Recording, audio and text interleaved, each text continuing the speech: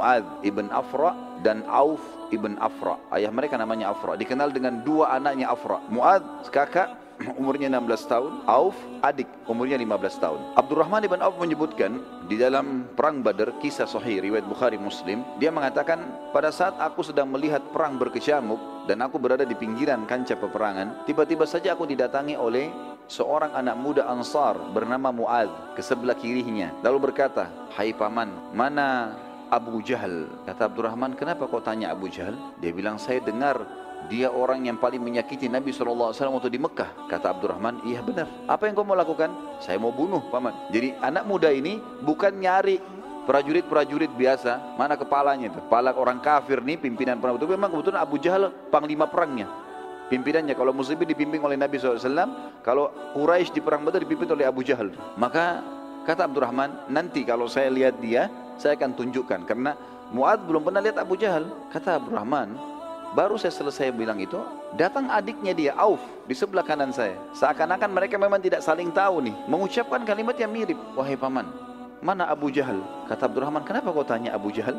Ini perang lagi berkecamuk. Kakaknya lagi sibuk menunggu melihat. Dia tidak lihat adiknya. Ini tidak janjian ya. Kemudian Abdurrahman bilang, kenapa kau cari Abu Jahal? Dia bilang, saya dengar Rasulullah SAW paling disakiti di Mekah oleh dia. Terus apa yang kau mau buat? Saya mau bunuh. Baiklah, nanti kalau saya lihat saya akan tunjukkan kepadamu. Kata Abdurrahman, tidak lama kemudian, tiba-tiba di pasukan musuh, terlihat itu. Pasukan Quraisy datang, di tengah-tengah pasukan ada Abu Jahal. Abu Jahal dikatakan Abdurrahman, demi Allah semuanya dari kepalanya sampai kakinya besi. Nggak kelihatan kecuali matanya. Sudah gitu dikumpul rumuni oleh pasukannya lagi. Banyak sekali. Melingkar, mengelilingi dia.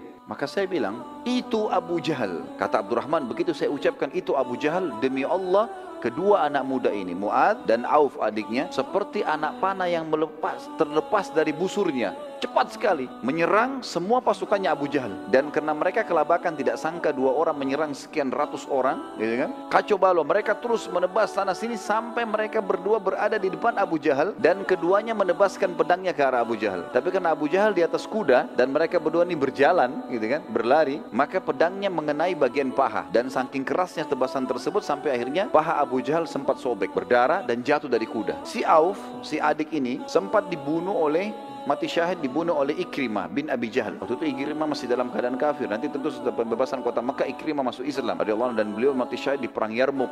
Ada kisahnya sendiri yang luar biasa juga. Waktu itu masih dalam keadaan kafir. Anaknya Abu Jahal. Dia menyerang Auf, Auf mati terbunuh. Si adik. Si Mu'ad berusaha melarikan diri. Karena Abu Jahal sudah kena. Tangkis sana sini lepas dari peperangan. Begitu dia keluar rupanya ada satu orang kafir atau beberapa orang kafir yang menebaskan pedang ke tangan kanannya. Dan sempat ketebas. Akhirnya tangannya seperti tergantung tangan kanannya. Dia pun keluar dari kancah peperangan, dia nggak berhenti teman-teman sekalian. Perhatikan semangat sahabat mengejar surga dan keyakinan mereka kalau mati itu datang bukan karena sebabnya, tetapi karena ajalnya datang. Apa yang dilakukan teman-teman? Bayangkan di umur 16 tahun, tangan kita tertebas, tergantung tinggal beberapa lembar kulit, ya, beberapa kulitnya yang halus yang menangannya.